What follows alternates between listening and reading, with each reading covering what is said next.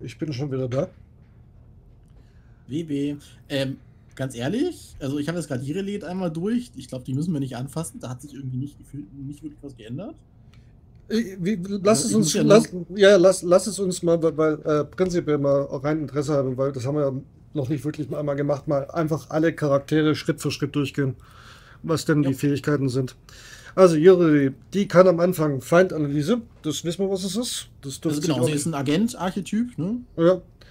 Ähm, dann hat sie Achtsamkeit einmal bekommen. Achtsamkeit, was ja, ist das? Ja, ich glaube, die, äh, die, die, war die vorgeskillt. Achtsamkeit kann man durch, ich glaube, die, die Fähigkeiten sind das Interessante. Und äh, die Stats kann man ja gleich einmal zeigen. Ja, ja, ja, ja, ja, ja, ja, ja.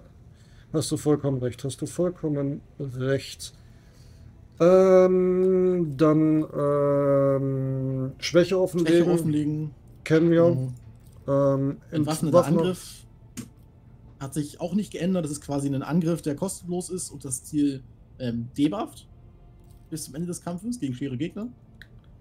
Scharfschütze, wenn sich der Agent in, was, äh, in diesem Zug nicht bewegt hat, erlangt er plus 6 Ballistikfertigkeit und plus 1 Schaden bei Einzelschussangriffen für alle 5 Felder zwischen ihm und dem Ziel.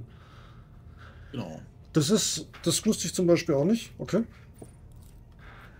Genau, sie, ist, sie wird äh, besser, sobald sie, je weiter sie wegsteht mit ihrem Scharfschützengewehr. Und, und sich nicht bewegt hat. Flink gewährt einen Bonus von plus 10% auf Ausweichen. Okay.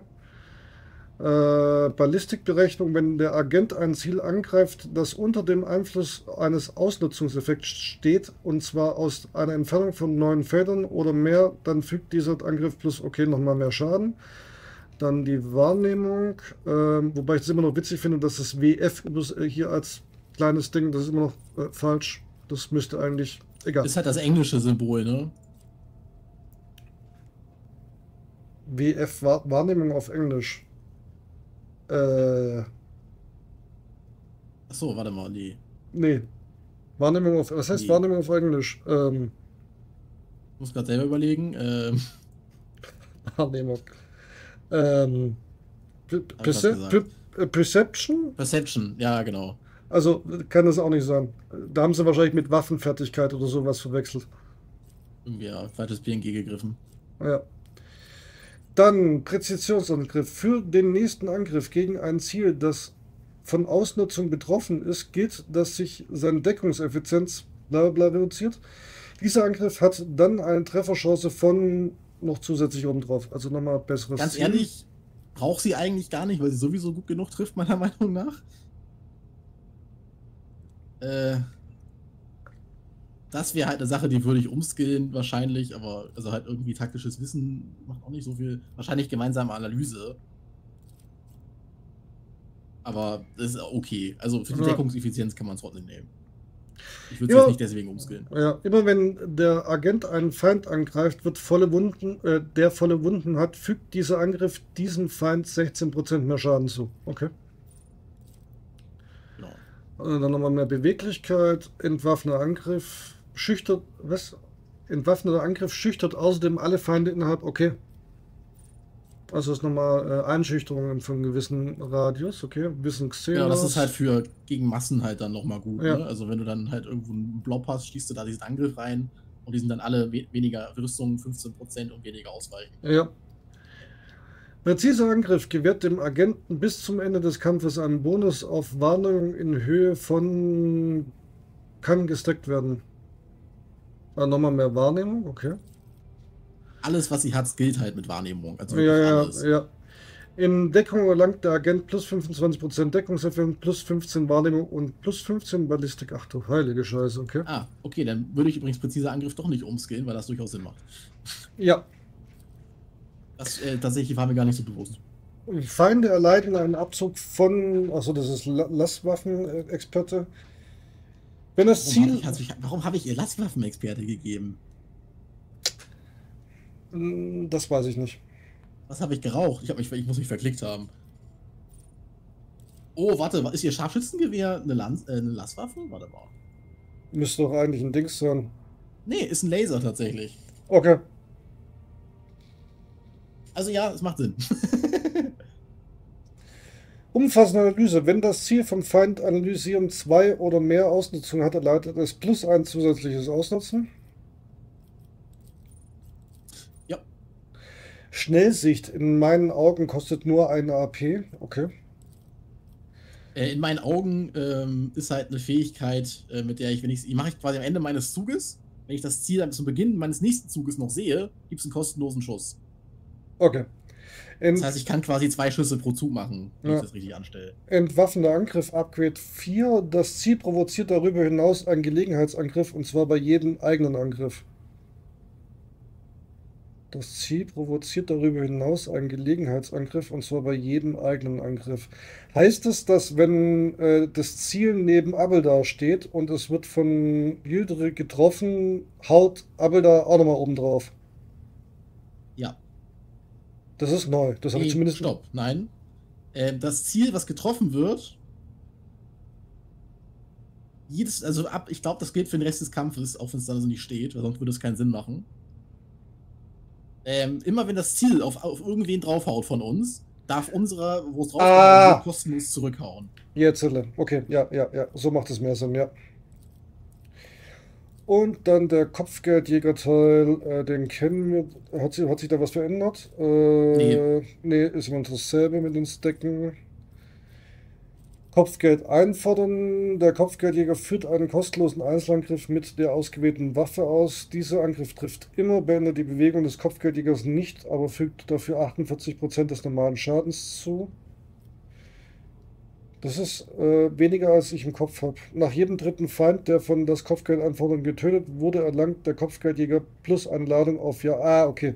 Das ist das, wo, wo man. Quasi äh, der Finisher. Ja. Wo man wieder ähm, auf, auf ähm, zurückbekommen kann. Ja. Das funktioniert mit ihr auch super gut tatsächlich. Ja, immer wenn ein Verbündeter eine Beute tötet, erhält der Kopfgeldjäger die Hälfte der Boni, die durch die Beute zur Strecke bringen, gewährt werden. Genau. Okay. Ähm, wilde Jagd. Der Kopfgeber führt gleichzeitig mehrere Angriffe aus. Die Anzahl der Angriffe ist gleich der Anzahl der Beute im Kampf. Diese Angriffe werden gleichmäßig auf sämtliche Beute in Sicht des Kopfgeldjäger ausgeführt. Das haben wir nicht einmal gemacht, glaube ich, bisher. Die Angriffe treffen immer und führen immer zu kritischen Treffern. Warum haben wir das bis jetzt noch nicht gemacht? Doch, hatte ich einmal gemacht tatsächlich. Stimmt, stimmt. AP erhöht, dann die Wahrnehmung, die zwei Waffenkampf äh, ihr gegeben für die zwei Pistolen. Äh, ja. Ballistik und einmal Hinterhalt des Jägers. Wenn der Kopfgeldjäger einen Einzelschussangriff auf ein gelähmtes oder betäubtes Ziel ausführt, erstattet dieser Angriff seine Kosten zurück und zählt nicht für das Angriffslimit einmal pro Runde. Okay. Gut. Das übrigens müssen wir viel mehr nutzen, weil das macht äh, also, zusammen mit Grenadieren, die dann Blendgranaten werfen. Unendlich viel Schuss sozusagen fast. Oder so viel wie, wie die Pistole halt hergibt. So viel wieder halt drinstehen, ne? Ja, ja, ja, ja. Also das äh, haben wir das, das haben wir noch nicht einmal genutzt mit ihr. So, Che. Ähm, Aber gut, das ist auch neu. Gut, die Offiziersachen kennen wir alle und ich muss gestehen, da hat sich ehrlich gesagt nicht viel geändert. Ich guck gerade bloß, ob es irgendwas. Nö. Ach stimmt, wir wollten noch schon die Eigenschaften von ihr, so sehen ihre Stats dann halt dementsprechend aus. Genau, viel Achtsamkeit und Wahrnehmung halt, ne? Ja. Ähm, Xenos Wissen ist ihr Hauptding und also Xenos Wissen, äh, Achtsamkeit und dann halt Wahrnehmung und Ballistik Skill. Und aus, ausweichen, ausweichen bei ihr als genau, Verteidigungs. Ausweichen. Also so Rüstung ist bei ihr eigentlich schniedegal. Ja. Äh, ich gehe bei ihr komplett auf Ausweichen. Das Ausweichen ist auch bei ihr dasselbe, bei Jay. Ähm, hat sie irgendwas Besonderes? Sie ist halt nee. vor allem nicht wirklich ein Kampfcharakter bei uns, ne? Sie ist halt mehr. Sie ist Meistertaktikerin. Da ist jetzt die Frage, ob sich da irgendwas Inspirieren. Das Ziel erhält plus 5% Schaden und plus 5 zusätzlichen Schaden pro Stapel von taktischen Vorteilen.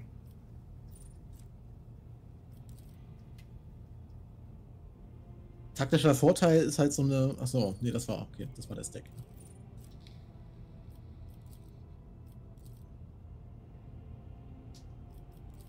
Okay.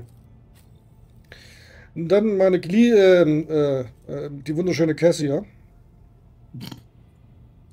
wieder Offizier.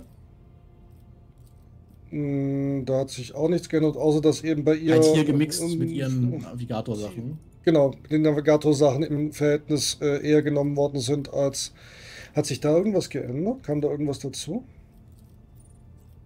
Also im Patch Notes wurde da gar nichts erwähnt. Weil sie ist ja eigentlich kein Psioniker. Ist ja auch nicht so geführt. Also sie hat keinen Psi-Wert. Nee, aber. Äh, okay, muss man nächstes Mal. Die können wir dann lassen. Ähm, Idira. Ja, halt, jetzt die Frage. Moment, Moment. Äh, Me Meistertaktikerin, auch, ja, passt soweit. Auch da wieder die Psi-Fähigkeiten genommen und nicht die äh, Meistertaktiker-Fähigkeiten. Ja, also, also ihre Navigator-Fähigkeiten halt. Ja, ne? ja, ja, ja. So, Idira. Auch hier die Psi-Fähigkeiten. Äh, Agent und hier haben wir die Psi-Fähigkeiten. Früherkennung. Einmal pro Runde wird das nächste wird der nächste Zug des Psionikers in der Reihenfolge der Rundeninitiative um zwei Züge verzögert. Vorgezogen. Er darf also vorher. Diese Fähigkeit kann es dem Psioniker ermöglichen, in einer Runde zwei Züge zu machen. Äh, Früherkennung hat sie, glaube ich, gar nicht. Nee, hat sie auch nicht. Aber ich gucke gerade, ob es da was Neues gibt. Deswegen. Achso. Einmal pro Runde wird der nächste Zug des Psionikers in der Reihenfolge der Runde. Das gab es vorher auch schon. Ah, okay, ja. perfektes Timing. Da hätte sie irgendwie einen Haken dran, irgendwie ein Symbol dran machen können. Das ist übrigens neu. Sanktische Kräfte. Bei sanktischen Kräften handelt es sich um gebündelte Glauben. Fromme Psioniker setzen sie ein, um Verbündete zu schützen und Ketzer zu vernichten. Das ist, was Heinrichs hat. Äh, Pyromantie haben sie wohl gebufft. Das stand da extra drin. Aber wir haben tatsächlich noch niemanden, der das macht. ähm, das wäre eigentlich was für Heinrichs, haben wir ja gesagt. Der, der, ich habe ja gesagt, das muss irgendwas mit Flammen bei ihm geben, weil er diesen Spruch hat mit der, mit der Flamme reinigen. Äh, deswegen habe ich gesagt, Heinrichs müsste irgendwas mit Flammen bekommen. Ein Pyromanik, Pyromantiker ist ein Meister der Flammen, ein Psioniker, der segende Infernos aus dem Nichts entfachen kann. Die Pyromantie ist eine der spektakulärsten und zerstörersten Formen psionischer Fähigkeiten. Jene, die einem Pyromaniker im Kampf entgegentreten, enden oftmals als verkohlte Knochenhaufen. Und, ähm, mhm. okay. Ach, hier, jetzt sehe ich es. Okay, ähm, Idera ist Prophezeiung und Telepathie. Genau. Jetzt habe ich es verstanden. Okay. Und daraus ergeben sich dann äh, eben hier die Domino, Geistesbindung, psionische Angriffe, sind Sensorium. Genau, das erste oben ist äh, Prophezeiung, das, der erste genau, Absatz. Genau, okay. Warum hat sie da jeweils, äh, warum hat sie da nichts von? Gar nichts. Okay. Äh, die ersten drei hat sie. Nee. Ah, nee, warte. Werden die da gar nicht angezeigt? Voraussicht hat sie. Hm, da kein grüner Haken ist? Nö.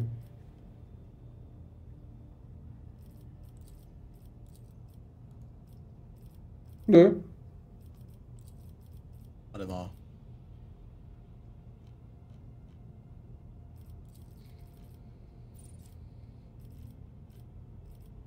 Vorwarnung. Okay.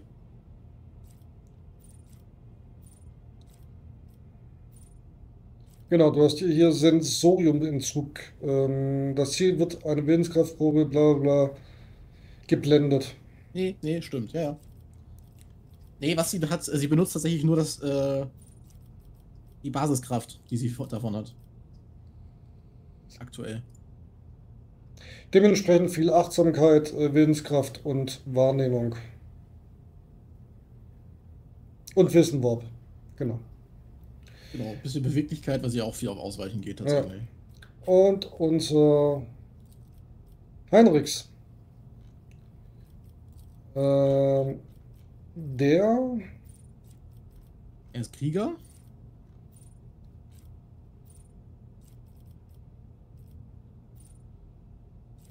Schild des Imperators hat Seelensäubern Ähm, Biomantie, sanktische Kräfte. Und Pyramid, äh, da, Pyromantie ist mit äh, Stern markiert fürs nächste Mal sozusagen.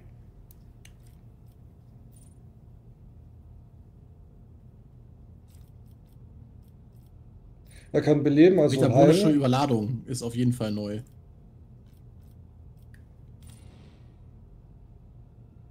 Bist du noch da?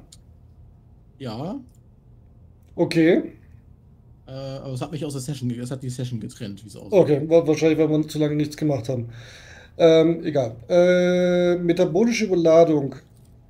Die Zielverbündeten erlangen augenblicklich einen Zusatzzug mit der doppelten Anzahl einer, seiner normalen BP und Psioniker Psi-Wert AP. Doch sein Organismus ist einer enormen Belastung ausgesetzt, wodurch er bis zum Ende des Kampfes am Ende jeden Zuges Schaden in Höhe von 5% seiner maximalen Wunden erleidet.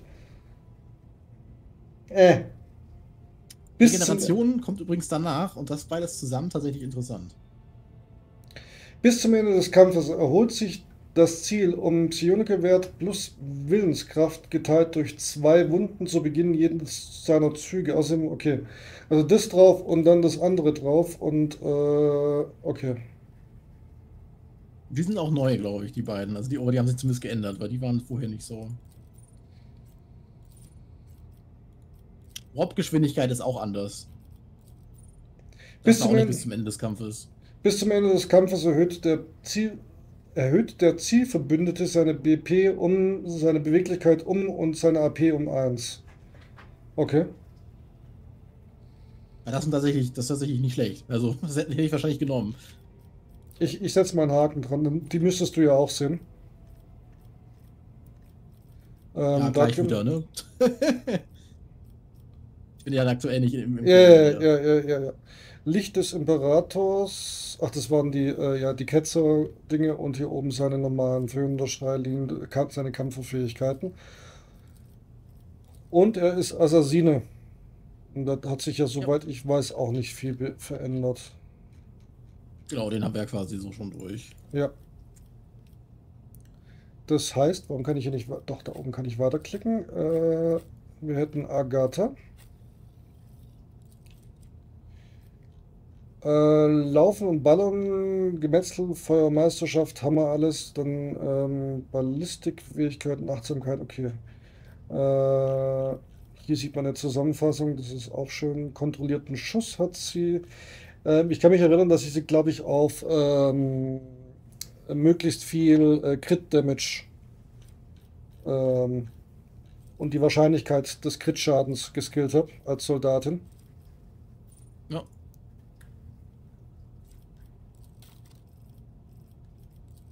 Ups. Und sie ist Kopfgeldjägerin, das haben wir vorhin schon durchgelesen. Äh, auch hier wilde Jagd, AP-Erhöhung und äh, Litanie der Läuterung. Stimmt, das war noch neu. Ähm, das letzte Mal, das letzte, was wir geskillt haben. Alle Feinde im Wirkungsbereich von Kriegshymne oder inbrünstige Rezession erhalten, plus einer verstört. Feinde, bla bla bla bla bla.